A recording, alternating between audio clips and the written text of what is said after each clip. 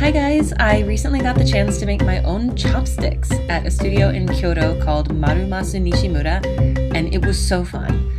The studio is in a complex called a Taiken Kobo, which roughly translates to a personal experience workshop or studio. and my friend totally tripped while I was filming this. As you can see here, they have a cafe, a shop, and there are other traditional crafts that they can guide you through. It's a really special place.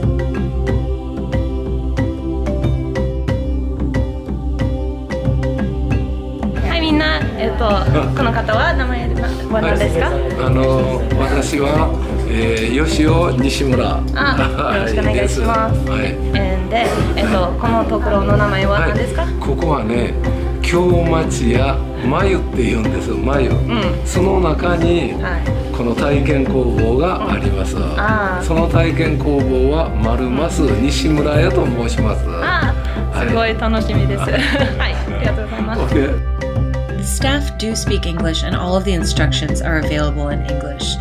But that said, for when they're giving you feedback and talking with you about how your chopsticks are turning out, if possible, I think it's best if you know a little bit of Japanese or are able to go with someone who speaks some. However, if that doesn't seem possible, I don't want to discourage you from going because it's a really cool workshop. So I hope, even if you don't speak Japanese, that you'll feel courageous enough to go.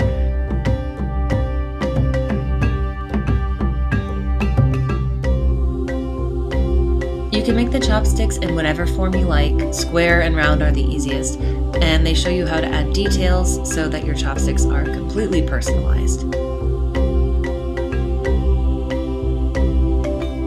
They provide all the supplies, including aprons so you don't get dirty, and you can even paint your own little keepsake bag for the chopsticks using a traditional painting method.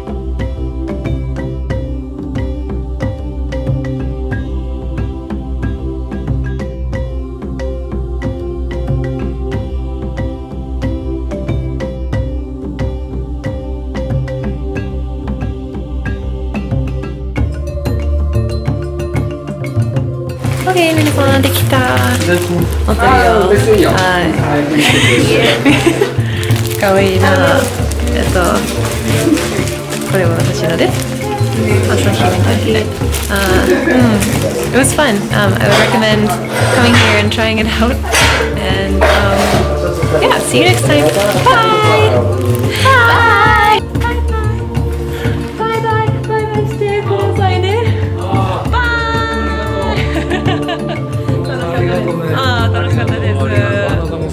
いね。うん。ねえ。皆さん来てね。楽しい。ありがとう。OK バイバイ。ありがとう